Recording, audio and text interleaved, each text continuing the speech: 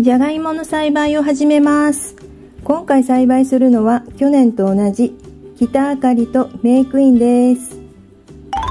はい、やっと種芋を植え付ける時期に、えーなりました。まあ、2月の中旬過ぎぐらいを予定してたんですけど、ちょっと遅れたねやっぱりね、今年寒かったもんね。で、うちちょっと市街地より離れてて、えー最低気温が氷点下続きだったんで、まあ、やっと氷点下にならなくなったので、植え付けることができます。市街地に比べると23度低いちょっと低いんでね、ここはね。はい、じゃあやりましょう。畝の準備ができました。今年はちょっと変則にしてみましたが、白いロープの間が幅60センチで長さがえーと、ここちょっとあんまり長く取れないんで、2メーター80ちょっとの畝になっています。で、今回は横に土をお盛り上げてまして、これが後々土寄せに使う土を準備しておいたっていう感じにしてみました。はい。じゃあ、植えますか。そうだねはい。えー植え穴を今回は広めに、えー掘りました。えーっていうのは、えー今回ちょっと去年よりも植える個数がどっちの品種も1個ずつ多いのでジグザグに置いていこうと思います。はい、じゃあ、丸尾さん、お願いします。はい。そうやね。こんな感じうん、そうやね。上向けたうん、目を上に向けて私たちはあ置いていきます。これはうん、はい。あ、順調やね。いい感じじゃないですか。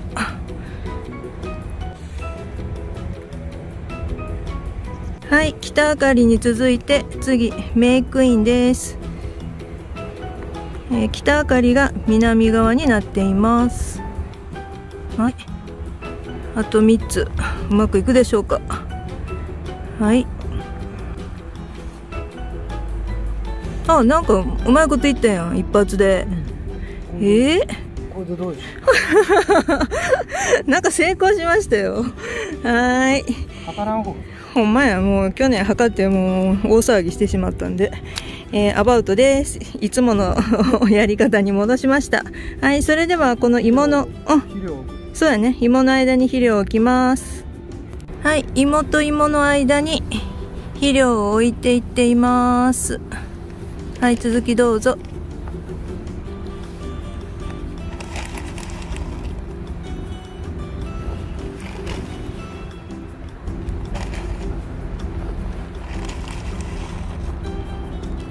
はい置けました。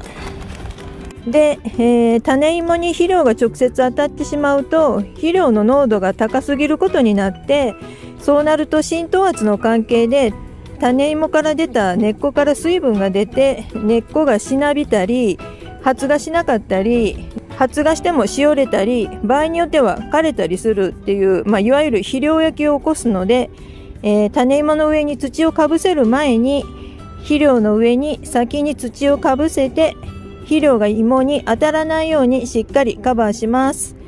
去年はあの肥料の上に牛糞堆肥かぶせたんですけど今年は、まあ、牛糞堆肥も今ちょっとないんでいつも通り土をかぶせようと思います。はい。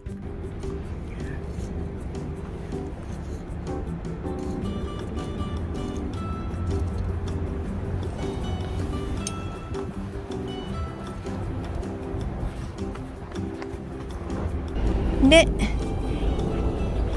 芋の上に土かぶせましょうか、えーかぶせる土の厚さは5センチぐらいです。はい。じゃあ埋まっていただきます。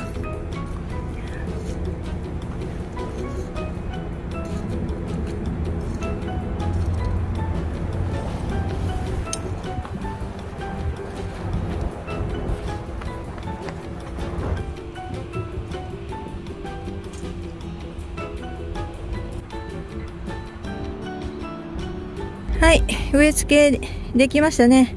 綺麗に なんかこうジグザグにやりましたけどなんとかいけましたね。この後地温を上げるために腐葉土を表面にかぶせたいんですけどなかったので明日かぶせます。はい。はい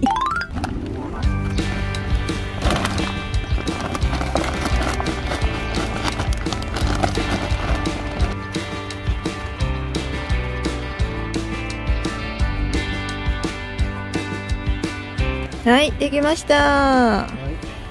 30リッター使いました。うんはい。それでは芽が出てくるのを待とうと思います。今日もご覧いただきましてありがとうございました。チャンネル登録。お願いします。チャンネル登録お願いします